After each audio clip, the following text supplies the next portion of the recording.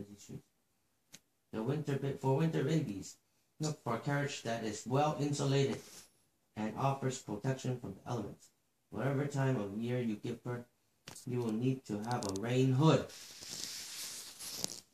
But unless you are having your baby in spring or summer, you will, you will not need a sunshade for the time being. Do make sure that the folded folded up stroller or carriage fits inside your car trunk and the car seat fits in your car. Most baby equipment stores and but you try them out before you buy them.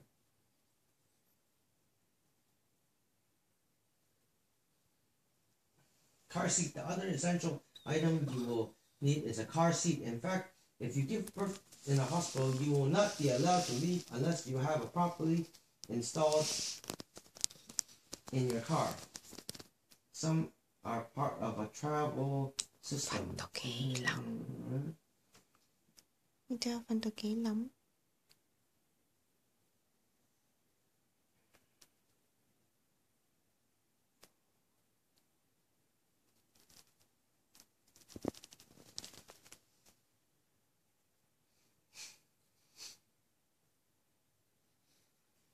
right here, Hanan.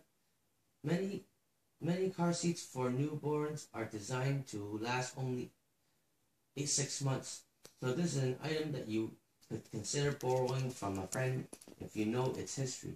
If you buy a second-hand car seat, check that it has not been involved in a serious accident because there is a risk that it may no longer be safe as a result.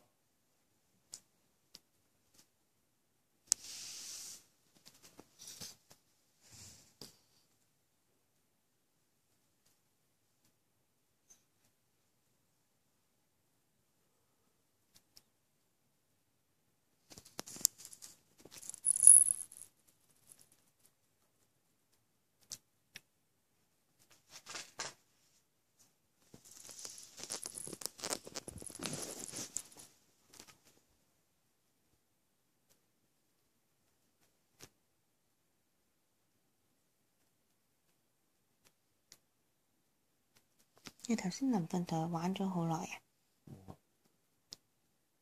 Phật cũng phật phật ở đâu pháo